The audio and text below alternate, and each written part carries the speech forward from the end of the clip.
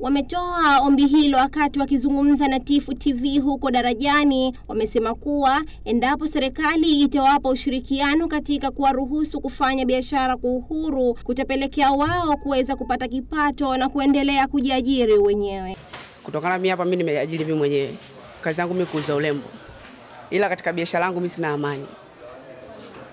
Manispaa wanatusumbua sana, yaani manispaa mpango wao kutuondoa sehemu hizi ambazo yani ambazo sisi tunafanya biashara ambazo tunapata kipato kutupeleka sehemu nyingine. Sawa, ni sehemu sio sahihi, ila sehemu hizo wanazopeleka wao hazina maslahi kwetu sisi, kutokana na kule. Kwa mfano mimi nikitolewa hapo tumbo la pili kipekwa kibanda maiti, yani kule yani hakuna wateja kwa biashara yangu mimi hapa.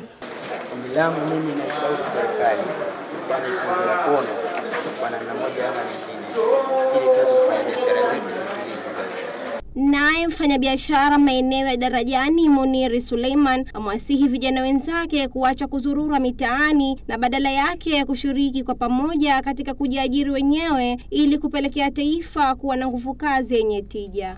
Pia nawashauri vijana wenzangu waliokaa mitaani, sio kama anasubiri ajira tu, wanaweza kufanya biashara, kujishughulisha na biashara yote ili kuepukana na matatizo yanayotokea. Nikiripoti kutoka maeneo ya Darajani ni mimi Fatma Juma wa Tifu TV.